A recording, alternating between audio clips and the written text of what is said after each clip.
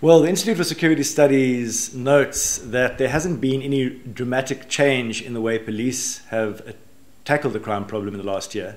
And in addition to that, we've seen uh, statistics from private organizations such as the Consumer Goods Risk Information Center, the South African Banking Risk Information Council, releasing data that goes up until quite recently showing increases in bank associated robberies, armed attacks on shopping malls, increased uh, burglary of shopping malls. So we expect increases in aggravated robbery to continue.